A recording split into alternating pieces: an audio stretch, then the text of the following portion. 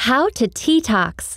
A nice hot cup of tea isn't just soothing. Some varieties have health and diet benefits. See which brew might be right for you. You will need roselle tea, rosehip tea, pu'er tea, oolong tea, white tea, dandelion tea, green tea, and chamomile tea. Optional, rooibos tea, and fresh lemon juice. Step 1. Clear your colon with roselle tea. When drunk in large amounts, it can function as a mild laxative. Step 2. Calm your complexion with tea made from rose hips. They're a rich source of A and C vitamins, all of which help reduce skin inflammation. For a caffeine-free alternative to rosehip tea, try rooibos tea, which is rich in the antioxidant quercetin, a natural anti-inflammatory. Step 3. Slim down with pu'er, oolong, or white tea.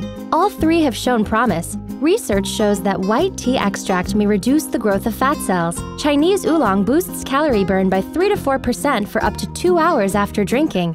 And drinking 3 cups of pu'er a day for 30 days can lower blood fats. Step 4. Get rid of bloating with dandelion tea. A diuretic, it will help you shed water weight. Step 5. Take a shot at the fountain of youth with green tea, which is being studied for its possible ability to slow skin aging. It's loaded with antioxidants that may help eliminate the free radicals that cause skin damage.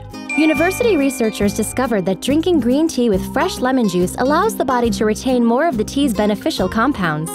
Step 6. Boost your resistance to infections with white tea. One study indicated white tea extract fights the growth of bacteria that cause pneumonia and staph infections. Or brew yourself a cup of chamomile tea, which contains compounds that fight infection. Did you know? 7 ounces of 109 year old Chinese tea fetched almost $21,000 at the 2009 International Tea Fair in Hong Kong.